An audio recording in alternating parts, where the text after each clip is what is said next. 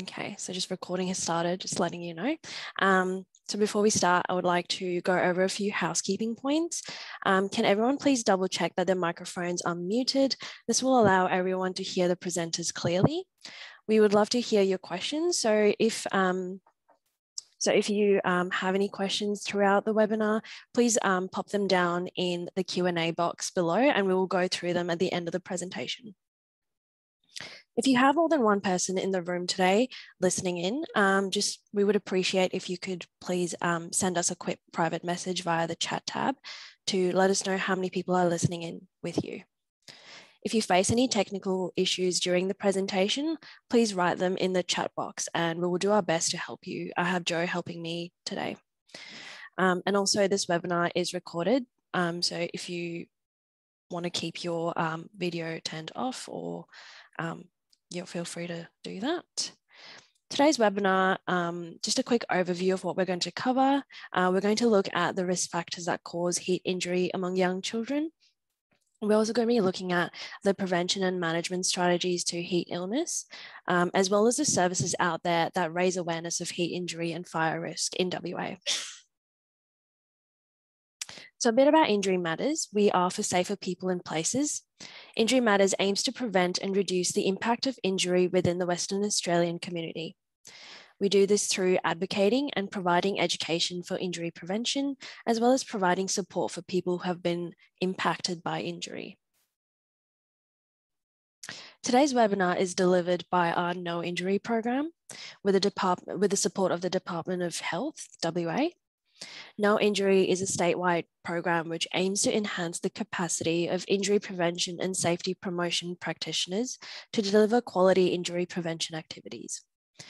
Via the No Injury program, we provide training events, resources, and networking opportunities to support injury prevention across the sector.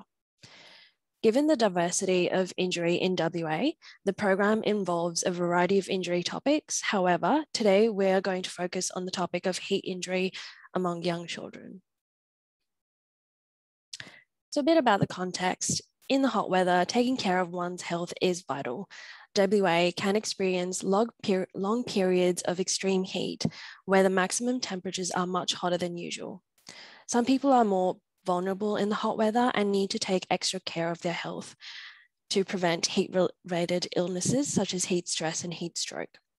Some of the key vulnerable populations to be particularly mindful of are babies and young children, teenagers, pregnant women, older people, people with existing physical or mental conditions, or people who are on certain medications, as well as people exercising in the heat. The latest Intergovernmental Panel on Climate Change, or the IPCC report, um, revealed Australia has already warmed 1.4 degrees Celsius, which is much higher than the global average of 1.1 degrees Celsius. Australian children are at a higher, at a greater risk of inheriting a dangerous climate, which will see more fires, floods, droughts, and extreme temperatures. The IPCC report projects that in the coming decades, climate change will increase in all regions. For 1.5 degrees Celsius of global warming, there will be increased heat waves, longer warm seasons and shorter cold seasons. Not every country or region is warming at the same rate though, with young children being one of the most vulnerable groups to heat related injury, especially during the summer months of Western Australia, where temperatures can reach up to 45 degrees Celsius. This is of particular concern. And health professionals working with young children need to have injury prevention strategies to pl in place to help address heat related injury. To talk more about this and the different risk factors to consider when working with young children during the summer months, I would like to welcome our first speaker for today, Kristen Jameson from KidSafe WA. Kristen is a senior project officer looking after a range of programs that KidSafe WA provide. Please welcome Kristen. Thanks, Abu. I'm just going to share my screen. I'll just give me one minute.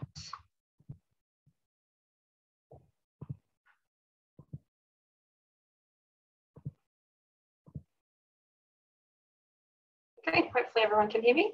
Um, thank you so much for everyone to, um, for joining in today and thanks to APU and Injury Matters for having uh, KidSafe WA a part of today's session. Um, so as APU said, my name is Kristen. I'm a Senior Project Officer at KidSafe WA. Um, thank you to APU for the acknowledgement of country. I would also like to pay my respects to the traditional custodians of the land uh, here in West Leederville, the Whadjuk Noongar people, and also extend um, that respect to any Aboriginal and Torres Strait Islander peoples uh, listening in today. Um, so as Apu mentioned, we are talking about heat-related injury amongst young children. Um, so the KidSafe WA part of this webinar will focus on exertional heat illness, as we mostly see this type of injury associated with um, kids participating in physical activity in those hotter temperatures. So with global climate change and the slow rise in ambient temperatures, we just want to make sure that we're aware of the risks and how to how, know how we can recognise and treat heat illness um, when it does happen for those vulnerable, vulnerable populations. Um, so just a bit of an overview, we'll start by um, giving you a quick introduction to KidSafe WA and what we do, um, what heat exertional heat illness is, the risk factors, prevention strategies, signs and symptoms, and the management of exertional heat illness. Um, we'll quickly touch on some further resources and also finish up by looking at um, heat-related illness associated with um, leaving children in hot cars. So for those who are hearing about KidSafe WA for the very first time today, we are a leading non-profit organisation dedicated to promoting safety and preventing childhood accidents and injuries in WA. Um, sadly, we know that more children die from injury than from cancer, asthma and infectious diseases combined.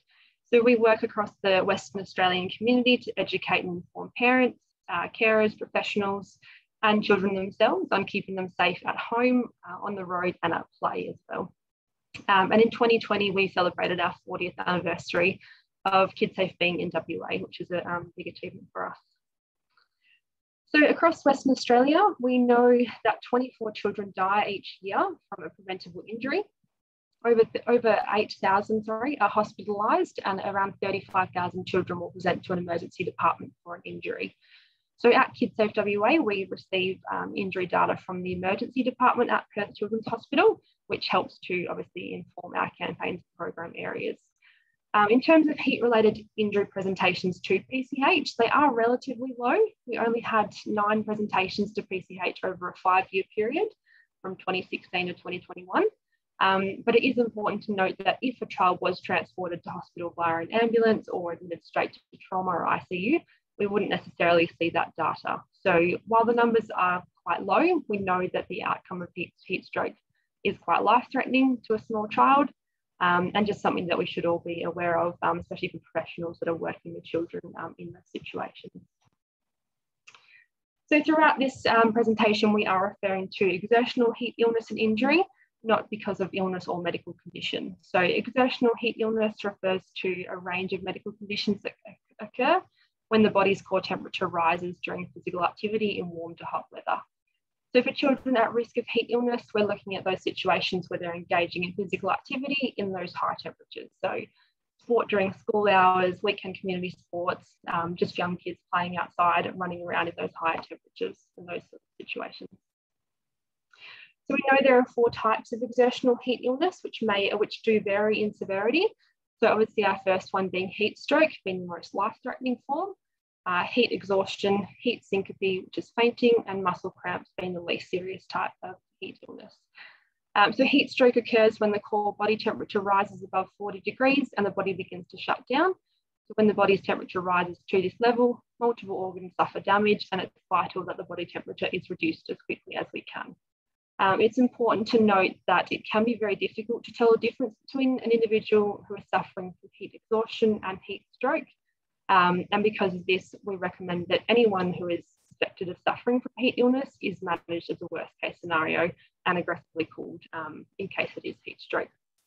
So it's obviously important for professionals who are working with kids in these settings just to be aware of the risk factors and just know how to treat a child um, in that worst case scenario. So looking at the risk factors for heat-related illness and injury, there are three broad categories of risk factors, including physical, psychological, and environmental. Um, the degree of influence each category has um, does vary, and it is important to acknowledge that they all can be interrelated um, in different settings. So Firstly, looking at physical, uh, we know that children are at higher risk of exertional heat illness in comparison to adults. Uh, they tend to be less fit and acclimatized to climatic conditions, and it obviously increases their risk of developing a heat illness. Um, we also know that children with a higher percentage of body fat may also be at greater risk of being affected by the heat. Um, children tend to sweat less than adults, meaning that they're not cooling down and reducing their body temperature as well as we can. And especially for teenagers who are experiencing growth spurts or might be increasing their training capacity, they are also at an increased risk. So obviously they have such periods of rapid growth as going through um, their teenage years. There's so much happening within their bodies. So even if they are a highly trained teen in a specialized sport, they are also still at an increased risk of um, heat illness. So um, psychological um, risk factors, um, children don't have the same level of awareness that we have about overheating and becoming too warm, especially younger children. Um, they often are relying on others to regulate their environment for them. So their parents, carers, childcare educators, teachers, all those people around them that are caring for them in that young age group. Um, and this regulation can include things like making sure that they're stopping when they are physically exercising or playing sports, um, and just making sure they are, consuming enough water as they go through um, that activity. Um, lastly, we have environmental risk factors. So we know that rising air temperature and relative humidity is a major risk factor here for heat illness humidity levels have a significant impact on someone's ability to regulate their body temperature. So when we do have higher levels of humidity, there is a decrease in sweat evaporation, which just makes it harder for the body to cool itself down. Um, and then we also have the playing surface that children are using and the time of day that they're engaging in that physical activity. Um, so, sorry, I'm just going to move this away. So firstly, looking at our playing surface. So it's probably not too surprising that the most um, high risk surface for heat related injury is asphalt. This obviously radiates back high levels of heat for children that are playing on those surfaces. surfaces. Um, so this might be in a school setting, we might have those older style basketball courts or just areas around the school where they are engaging in that physical activity. Um, in this setting, it's important to monitor how much time children are spending outdoors playing on these types of surfaces in those hotter weather conditions. Um, we then have synthetic turf, which presents a lower risk than asphalt, but it does also produce a greater level of surface heat compared to natural grass. Um, we look at timber boards, um, sand, and obviously our natural grass, which is well irrigated, uh, green natural grass. And then lastly, we have water for water-based sports. So this is um, obviously the lowest risk of uh, low, lowest risk surface in terms of heat emission. Um, but we obviously know that water can reflect uh, UV rays and it's important to consider those um, sun protection um, safety measures as well. We then have the time of day. So lastly, um, we are looking at what time of day children are outdoors engaging in this physical activity, which is obviously an important environmental consideration. So ideally, we want children to avoid playing um, and engaging in physical activity during the hottest parts of the day, which we know in Australia is between 11 and 3. Um, we completely understand that in a school setting, this is not always an option because we have such a limited amount of time with kids being out school. It's hard to stick to um, avoiding those hot parts of the day. If kids are outdoors during that time of the day, we just need to make sure we're taking those steps to manage the risk, making sure they're regularly stopping for water breaks and they aren't playing for extended periods of time out there. Um, when children are playing or engaging in physical activity in those higher temperatures, the risk of heat illness become, starts to rise within about 30 minutes of engaging in the activity. So just being aware of this if we do have kids playing outdoors in those hotter months that we head into. So just looking at a few ways that we can prevent these types of injuries and reduce the risk of exertional heat illness in children. So as we just discussed, those environmental uh, risk factors are a major contributor to heat illness. Um, firstly, looking at environmental prevention strategies, um, heat cascade. So a top-down heat cascade refers to this excess heat load at the landscape level that's then transferred to a building level and then finally to an individual. So when we consider an increase in ambient air temperatures outside because of global warming, we need to start thinking about the steps that we can take to reduce the impact of those environmental risk factors. So in a school, childcare or sporting venue sort of environment, um, we could be looking at the types of building materials that we're using that are going to reflect heat back into the environment, um, trying to introduce vegetation where possible, having that natural grass surfacing over those asphalt surfacing, um, and also looking at internal environments that are, that are going to reduce the cumulative heat load experienced by a group of children. So once they have finished their physical activity or sports, bringing them back into an air-conditioned classroom, having air-conditioned locker rooms or, or internal play, play rooms in um, childcare centres. Um, so looking at the individual prevention strategies that we can implement, firstly looking at cold fluids. We know that drinking cold fluids and ice slushies before physical activity helps to maintain a cool internal body temperature, um, but keeping in mind that ingesting those cold fluids and slushies during the activity is actually less effective for cooling the body. So just making sure that we're getting those cold drinks before kids are engaging in the sport or physical activity. Um, water dousing, so this involves wetting the skin with sponges or towels soaked in cold water or spraying the, the skin with cold water from a spray bottle. Um, also helps to increase evapora evaporation and is probably the most effective cooling mechanism in those hot conditions. Misting fans, outdoor fans and an inbuilt misting system are really effective at helping to cool body temperature. It is worth noting that just a normal fan without the misting feature isn't as effective as cooling someone down um, once the air temperature goes past 39 degrees. So if we do have kids that are playing in that really, really extreme temperatures, um, just having a misting fan, if it is an option for you, is a good idea um, just to get them to um, be cooled down. Um, submerging uh, arms and feet in water, and lastly, ice packs and towels. So placing an ice pack wrapped in a damp cloth or a damp towel filled with crushed ice just around their neck to help them cool down and their body temperature. As professionals working with children in these sporting and play settings, it's important that we know the signs and symptoms of exertional heat illness so that we can act quickly to cool that child down. So some of the common symptoms that we see are lightheadedness, heat syncope, which is fainting, uh, dizziness, vomiting, nausea, obvious fatigue, loss of skill and coordination, unsteadiness, cessation of sweating, confusion, aggressive or irrational behaviour, collapse or ashen grey pale skin. So if a child is experiencing that dizziness, fainting, headache or vomiting, it's often because of a sudden drop in their blood pressure as their blood is now flowing to the skin and away from their major organs. So if we do start to see these signs and symptoms appearing in a child, we obviously want to um, act uh, immediately. Um, so it's important that we know how to help a child out in this situation so it doesn't progress to become um, heat stroke and their life in, uh, being in danger. So the goal of first aid for heat-related illness is to reduce the individual's body temperature as quickly as possible. And there are several ways that we can do this. It just depends on what resources are available to you at the time. Obviously, in some settings, we might not have a lot of resources available, but if we know we're going to be in a situation with kids exercising or, or engaging in sports in these high temperatures, we can make sure we have the resources ready if we do need them um, for this situation. So we'll just touch on these three um, different types of um, these different management systems. So firstly, looking at the strip, soak, fan strategy. So this is um, a highly effective method for cooling an individual and it can be achieved with very minimal resources if we are out, are out there with um, not too much to help us. So firstly, making sure the child stops the activity as soon as they can, moving them to a cool environment and laying them down, preferably an air-conditioned room, but often we don't have access to these types of um, settings. So just making sure we're putting the child in a, in a well-ventilated, shaded area, which is obviously going to be better than um, keeping them out in the sun, trying to treat them out there. Um, removing the outer clothing to cool down their body, including any wet clothing, and just misting the skin with cool water. Um, you can also place towels over their skin that have been soaked in cold water. If you are using wet towels, just making sure that we're regularly taking them off, cooling the towel down again before putting them back on the child. Um, if you do have access to ice, you can make a bit of an ice slushy with ice and water in a bucket. And that's a really effective way to cool down the towels quickly, and back onto the child to cool them down.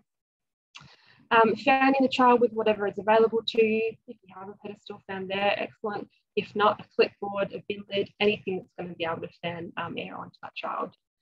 Closely monitoring the child, and if, if they're not responding to cooling methods, calling triple zero if necessary, and preparing to give CPR as they can get into this stage quite quickly if the cooling is not working.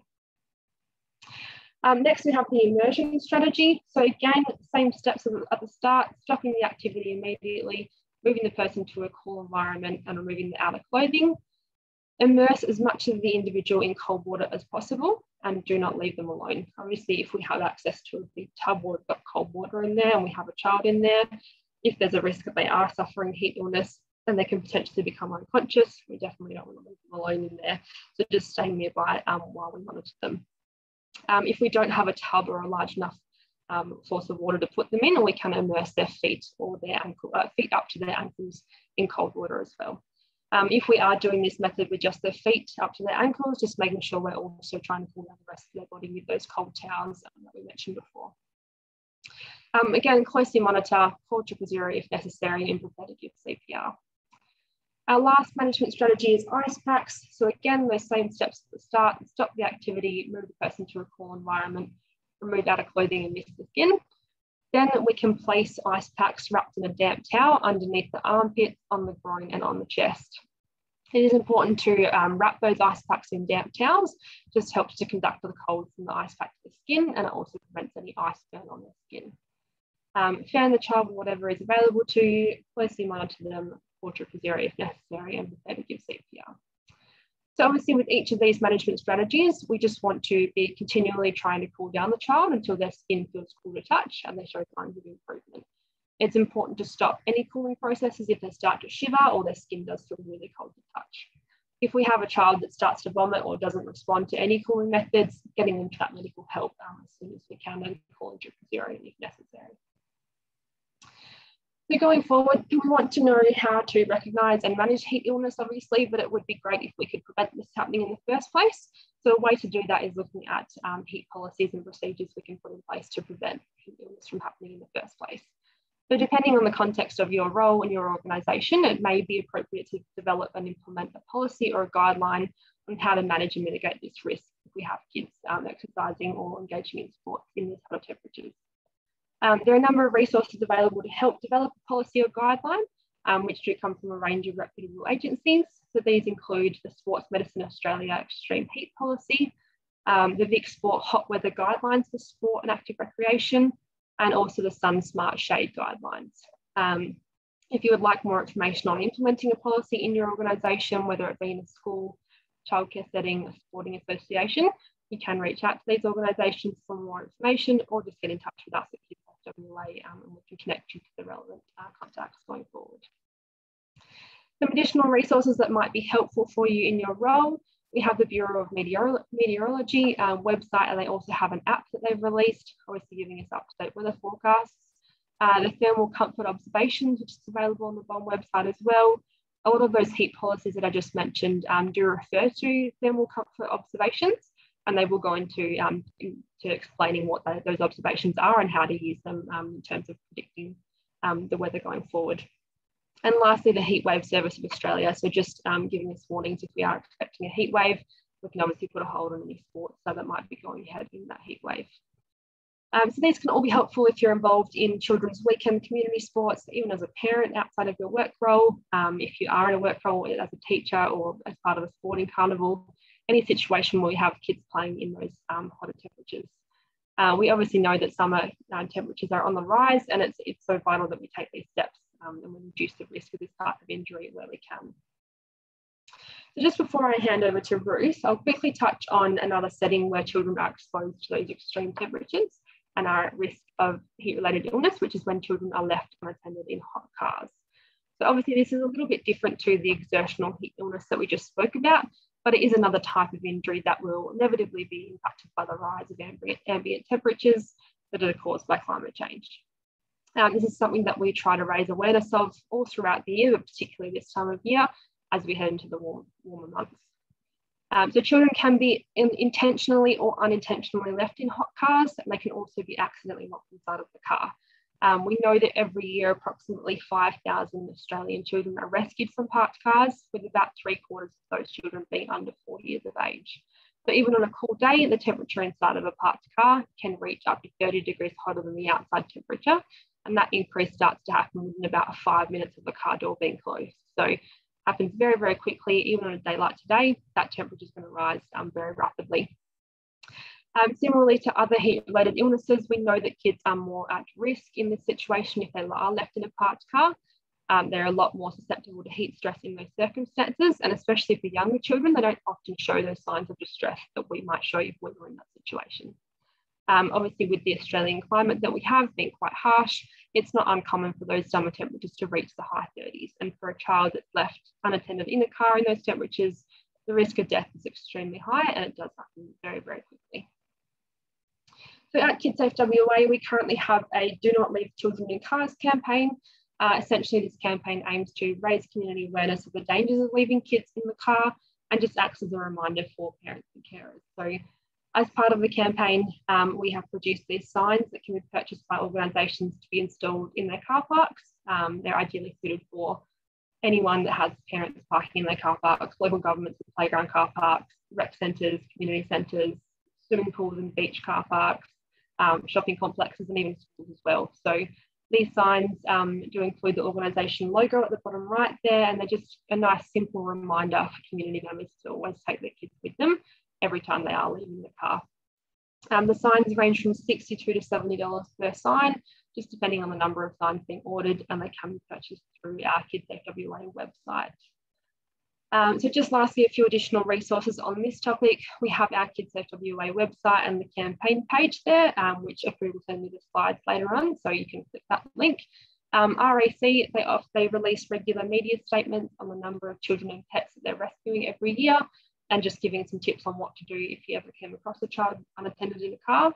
Um, and lastly, there's a link there to the Unconventional Oven campaign by KidSafe Australia and AAMI. So this um, link links to a really great video um, featuring the chef Matt Moran, and it just shows that he can cook a piece of meat by leaving it in a car on a hot day and just brings awareness to the dangers of leaving a child um, in a car unattended. So please have a look at those if you are interested for more information on that um, area that is everything for me. I hope you found the information useful today um, in your roles. If you'd like to chat with us further about any of the content presented, um, please get in touch with us. We'd be more than happy to talk to you. Um, you can email me at kristen at kidsafewa.com.au or call our West Medical Centre on 644 4887. Um, but thanks very much. I'll now hand back to Edwin. Thank you. Thank you, Kristen. That was amazing. Um, I'll hand it over to Ruth now from the Department of Fire and Emergency Services WA. Um, Ruth is a injury, sorry, I do have a slide for this. I will share that. Just give me two seconds. Uh, so Ruth is, oh, no. Ruth is a Prevention and Safety Program Coordinator at the Department of Fire and Emergency Services, and she'll be talking about um, the um, juvenile, oh God. uh, give me two secs. Um, Ruth uh, looks after the JAFFA program among um, other programs at the Department of Fire and Emergency Services. And the JAFFA program stands for Juvenile and Fire Family Fire Awareness Program. Um, so please welcome Ruth. I will stop sharing for you to share your screen. Okay, I'll just get to, no, it's not sitting there, just one moment. The wonders of technology and it works always before you need it and then not when you need it. So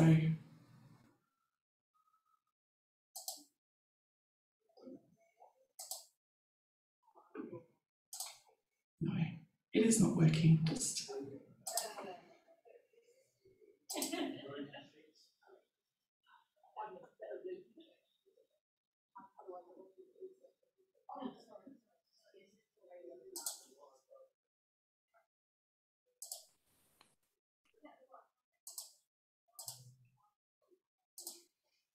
Are you able to share screen? Yes, but it's not allowing me, it's not giving me um, my, hang on, let's go files. No, it's not giving me any options. Um, Just bear with me.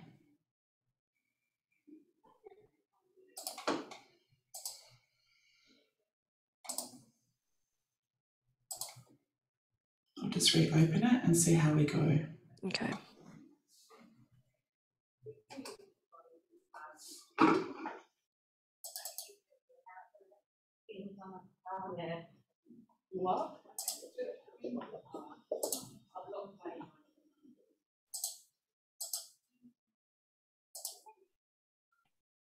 Yep, that's working.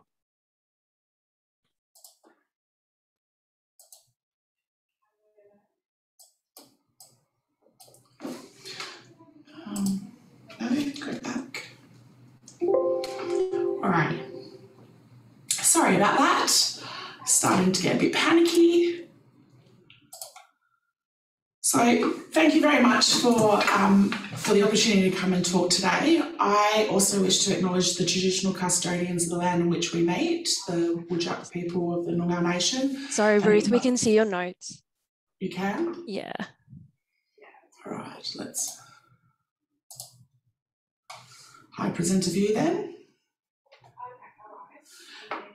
And yeah, so I'd like to acknowledge the traditional owners of the land in which we, we where I am talking to you from today, and to acknowledge and respect their ongoing contribution um, and their leaders, past, emerging, and present.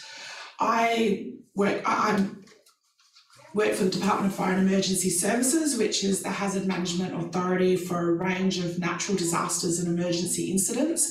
We have a variety of programs to engage the community in um, a range of hazards, but um, namely bushfire, structure fire, cyclone, flood, and storm safety. My particular uh, role within DFES is to coordinate the Juvenile and Family Fire Awareness Program, which I will talk a little bit about today, but also to work in prevention around bushfire and um, home fire safety. So I, I, I work very much in the space of prevention um, with those two hazards. Um, so I'm going to talk predominantly today about young people and fire and move quickly into, well, move halfway through that this presentation into talking about intervention with young people and fire and how to manage that. Um, I guess when we're, we're talking about young people and fire, the first question is, is why do young people start fires? And um, for the vast majority of young people involved in fire, they actually have little or no understanding of fire behaviour and the consequences of, of playing with fire. And depending on their age, the child actually may not know better. So what we've found through our own, um, I mean, this this graph is a representation of the young people that we've seen over a 10 year period, that the vast majority are involved in some sort of fire play um, because of peer pressure, curiosity and boredom. So it's, it's the curiosity is, is, you know, what will happen if I do this, um, not, you know, not malicious antisocial behaviour or attention seeking, which most people would, would jump to the conclusion of. Fundamentally, when we talk about children knowing better, if we think about what education young people have in the space of fire, most fire safety education programs carry plenty of fire survival messages. So, what to do if there is a fire. So, crawl low under smoke, stop, drop, cover, and roll if you've got flame on you.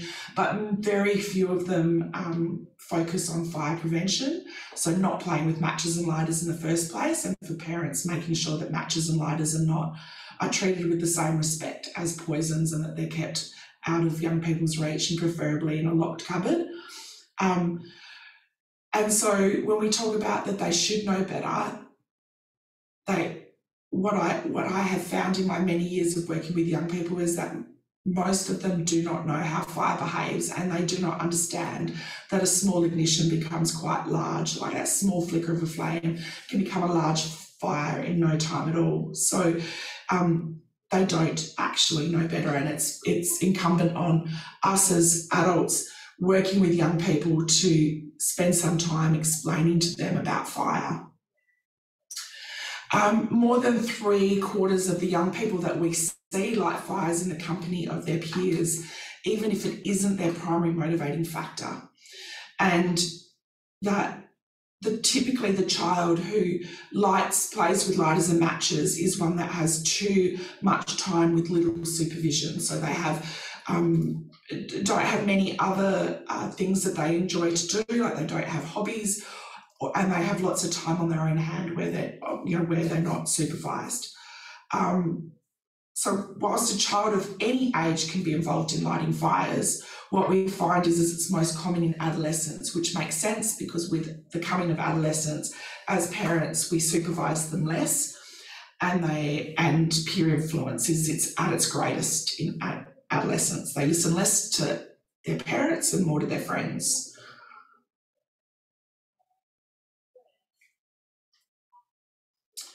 So, generally speaking, um, there are three uh, widely accepted developmental phases of fire.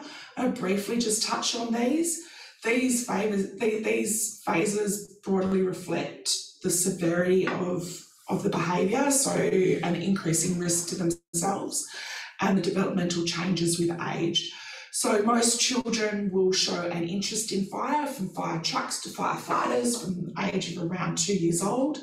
Colourful lighters um, add to that curiosity. Generally speaking, um, the movement into fire starting and fire play actually is really um, comes with access. So if you've got a three-year-old or a two-year-old who can find a lighter and start it, then they will because that curiosity will lead them into into play. Um, most children will have one unsupervised fire play in their time. I mean, if you ask a room of even firefighters or any adult, have you ever played with lighters and matches when you were kids? And they would say yes, and they would be able to recall a story where they played with candles, they played with wax, or they played with lighters um, outside. So it's not uncommon. But the problem is, is without clear information about the consequences of fire, those actions where they explore fire and ignition items without adult supervision and their um, and their curiosity turns into experimentation, then what happens is, is that a negative experience can happen and it happens very, very commonly. Um, what we find is that children um, without a negative experience. So when we'll continue to play and be curious around fire, and that might be simply as playing with candles and flicking a lighter or burning leaves, like I've said. But as they um, experiment more, they can lead into far more dangerous behaviours, and there is no shortage of supply of um, brilliant ideas on how to use fire on um, YouTube and now TikTok. So, um, if as an adult you have not yet explored TikTok and explored the terms fire in TikTok, then you aren't living life compared to children because they can see all sorts of what um, we would call stupid things with fire, but they think are amazing and great fun because they're explosive. Without that link between cause and effect, um, it can be really dangerous. And what we find then is that children become really cocky uh, very overly confident um, and unresponsible to parental intervention because they feel they can control fire sources and they see people um, on TikTok, YouTube, and other social media formats um, doing doing that kind of behaviour. Fire setting is really the next step up. So fire setting is repeated, planned fire starting um, with ignition sources collected and this or stolen and their materials purposely flammable. So this is where you start when kids start moving from fire starting into fire setting. It means they've gone from oh here's a lighter that mum and dad have left around or they're found on the street into I'm going to go purposely look for it and I'm going to look up TikTok and I'm going to see what the latest thing is doing. So that is that movement into fire setting. Within fire setting, there are also degrees of fire setting, and fire setting is is the behaviour that most would, would most concern us is because it's repeated. Um, you know, it's not a one-off incident; it's repeated, and and they often usually do it on their own. So this is the kids where there isn't a peer influence anymore is very concerning and they fit into quite a few different formats of, of, of, of different ways to describe. So we have our emotional fire settings, so the young person who has a argument with a friend or with family, or there's emotional upheaval in their in their life. and they have difficulty regulating those emotions, so they will use light they'll light fires to express their feelings. So quite commonly that would would look like I've had an argument with mum, I go down to the local park, I'm sitting there with my lighter and I set fire to some leaves and or I set fire or, or I, I start flicking my lighter on the play equipment and then not realizing that it's going to take off quite quickly and melt the whole of the structure. And young people who light those kind of fires almost always express remorse, and their intent is never to cause damage. The next lot is our delinquent fire setters, so our antisocial ones where they're looking to um, cover a crime. Um, they almost always intend to cause damage and they rarely, if ever, choose, uh, ever have remorse. Um, and then the next one is our um, grievance, the one who's angry with someone. So they'll set fire to something, they'll set fire to someone's bag, or they'll set fire to uh, something of worth to someone, like their sister's t shirt, because they're really angry. And um, then lastly, there's the pathological fire setter, which is related to a raft of mental health um, or personality disorders uh, or behavioural problems that they have. And these fires are almost always concealed, destructive, and planned.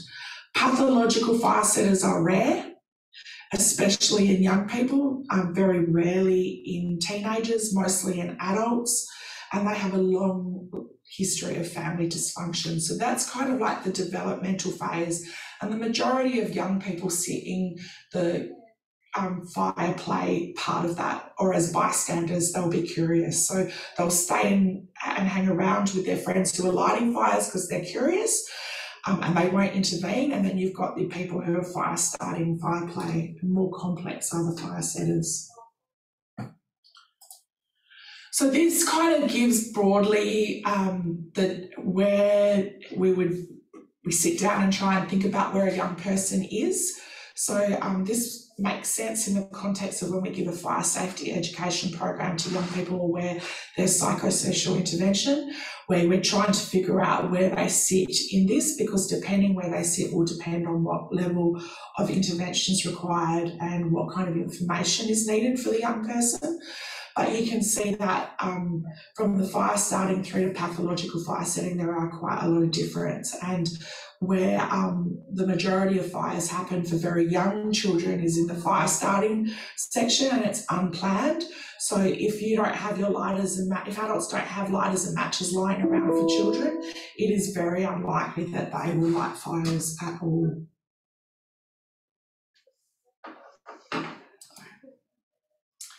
These are our risk factors for fire setting, for, um, which are pretty much the same risk factors for most antisocial behaviours that young people are involved in. So fire setting would be just, yeah, and that would be broadly spoken as antisocial, even though um, their behaviour may not be purposely delinquent. So being careful to differentiate there. Um, in terms of that, um, children with three or more risk factors are particularly at high risk of, of persistent fire settings. So, um, the first one being male, we would see for every every one female, we would see nine males. So we see a lot more boys than we do girls. That has changed in the last couple of years. So this is predominantly over like the last these figures are based on the last 10 years, but in the last couple of years, we've seen a lot more girls who um, are involved, and more often than not, they will, in terms of fire setting, they sit in the emotion, uh, emotional dysregulation, so they're or in the antisocial behaviour where they're in a uh, in a group of people and they're um, stealing stuff and setting fire to it. So that's where they mostly sit. But if they have more than if they have more than three of these risk factors, um, then that yeah, they're at high risk of persistent fire setting and they need more than a fire safety education session. So that kind of leads me into the two intervention approaches that are available worldwide. Um, so for the people who are, you know, uh, watching this webinar from overseas, There are fire safety education programs throughout the world that are very similar to the one that DFES offers. Um, they're offered by either um, trained professionals uh, or teachers who uh, who are tra- trained in fire behaviour, or most predominantly through fire services. So, if you're in another part of the world and you have young people who are showing fire setting behaviour or even fire starting behaviour, then getting in touch with your local fire service would be your first point in terms of fire safety education to see what's available. The second approach is psychosocial intervention from our child and adolescent health service or private specialists.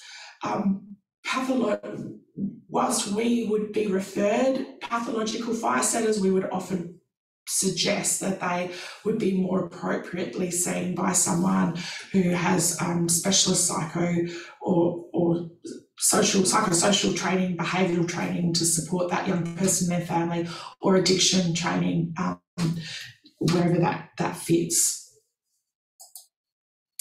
So that kind of leads me into the program that I coordinate. So the Juvenile and Family Fire Awareness Program is a free confidential fire safety program delivered by specially trained firefighters across, across WA.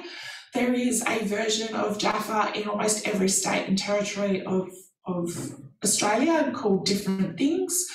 Um, we run our program for six to six children, six to 16 years although we wouldn't turn away someone younger, um, our focus would then be probably with parents because three, four, five year olds with act, access to ignition sources. Our program materials are fundamentally based at, you know, at differing um, levels of, of um, children through to pre-adolescence and then through to adolescence. So yeah, we do off, uh, do often accept children five years or younger, but the focus would be very heavily working with parents to reduce their access to ignition sources. Our overall aim is to reduce property loss, injury and loss of life as a result of deliberately lit fires. Um, there are, I mean, in last year alone, there were 1,244 structure fires and over 3,500 bushfires of which about 80% of those bushfires were deliberately lit. So um, it has a huge impost on our community, huge cost in terms of response to that, and the loss of life um, and injury and loss of property has um, huge impacts on our community that I don't, I don't think I need to explain further than that.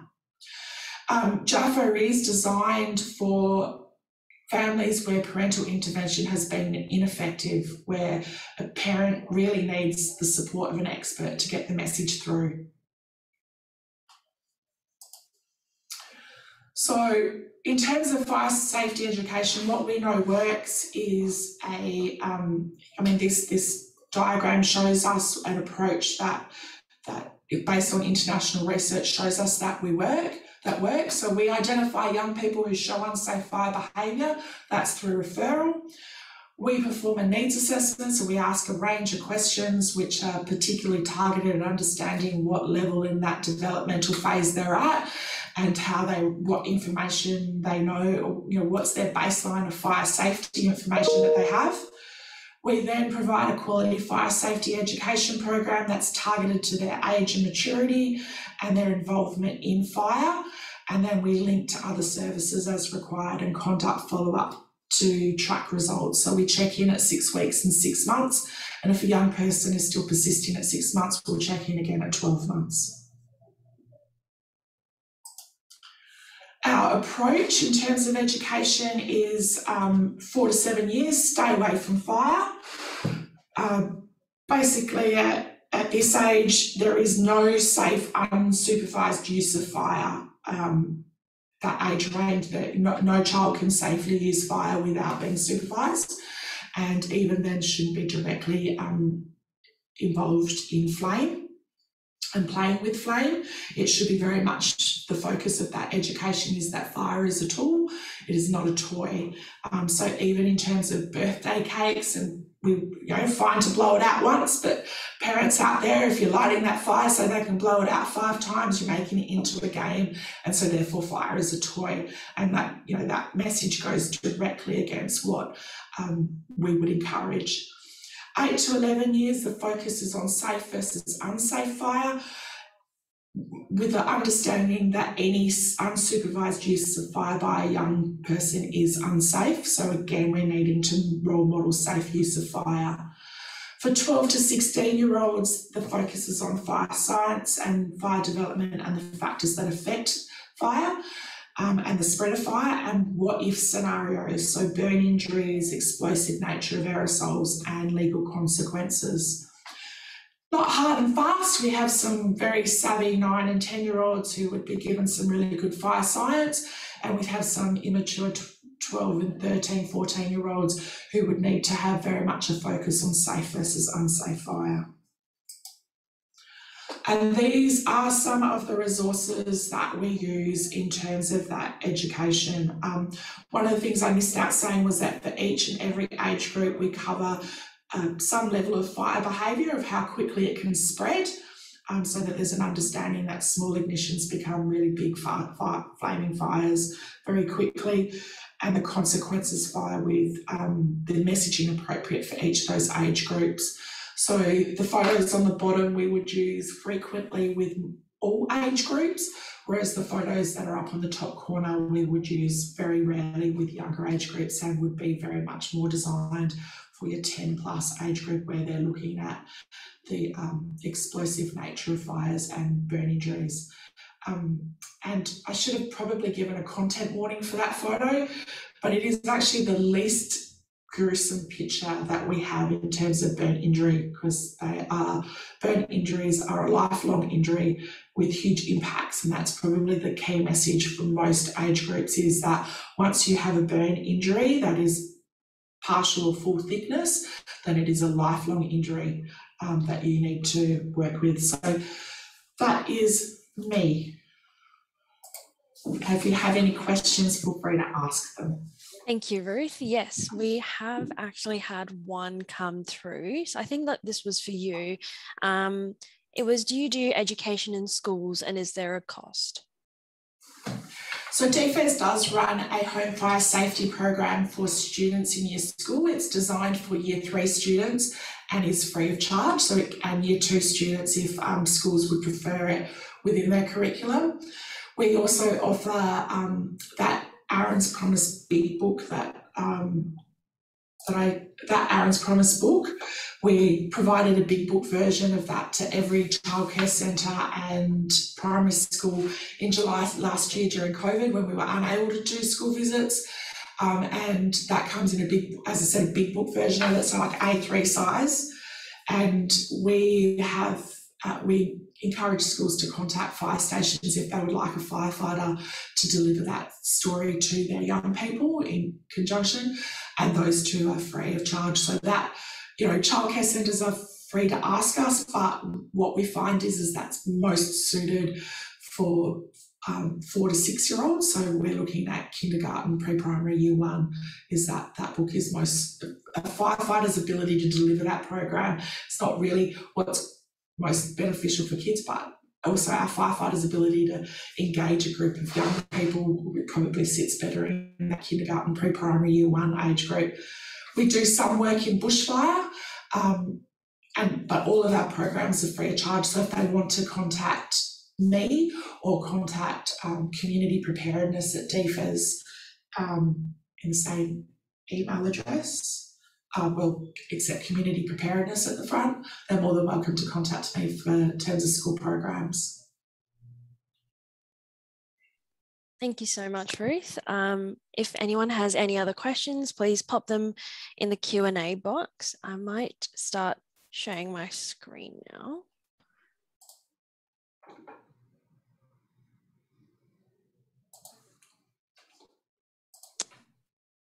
Um,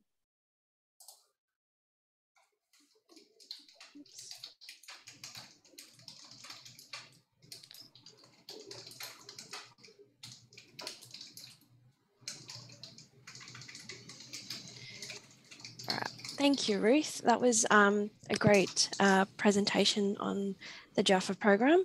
Um, oh, we might have another question. Oh no, that was just you.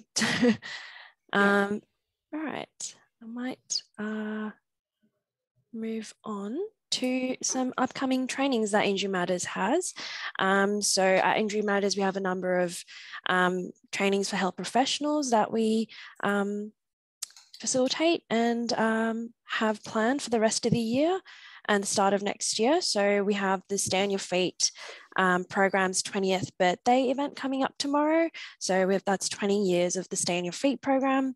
Um, uh, we also have the Australia New Zealand Falls Prevention Conference, which is happening in early December from the 1st to the 3rd. But before that, if you're working in the falls prevention space, we have a pre conference event um, on the 30th of November, and it's a networking event. So if anyone is interested to come along for that one, uh, you can sign up or express interest on our website. We also have our next webinar focusing on disability and how we can make homes and workplaces safer for people with disability. And that is planned for the 6th of December around International Day of People with Disability. So if you're interested in any of the ones on the screen, any of the trainings that are coming up, um, feel free to go onto our website in the events tab and register for any of them. So um, keep the conversation going from today, um, please join the Injury Prevention Network. Um, the Injury Prevention Network meets quarterly to provide professionals such as yourselves working in the injury prevention space across WA with an opportunity to connect with each other to share learnings and solutions in injury prevention and safety promotion. If you want to sign up um, and be a part of the network, let me know or send me an email using the my email address, um, akarajagi at injurymatters.com uh, .org.au, sorry. Um, also for evaluation, we'd like to hear your feedback about what you thought about today's workshop training. Um, so if you, um, as the webinar ends, um, a evaluation survey is going to pop up on your screen. Um, we would appreciate if you could complete the survey so we know what you thought about today's webinar. We really value your feedback and it helps us to ensure we're delivering trainings that meet your needs sorry, Kristen, this is your uh, image, but um, register to Connected. So Connected is an online networking program for professionals working in the injury prevention space. It is a networking program where participants are randomly paired bi-monthly to have a 15 minute conversation with another professional working in the injury prevention injury prevention space. Um, Connected takes the hassle out of networking and provides you with the opportunity to connect and share your knowledge and skills um, within the injury prevention sector. Um, so yeah, this is lovely Michelle Lambert and Kristen Jameson um, chatting over some coffee um, and they found the program useful. So um, yeah, please register using the scan, the QR code on the screen there or hop on on our website uh, and click the link that pops up that, to register. So that is it for today. For today. Thank you, Kristen uh, from KidSafe and Ruth from Department of Fire and Emergency Services. Um, it was a lovely um, educative webinar and um, I hope um, you guys learned something today. Thank you. Thank you very much.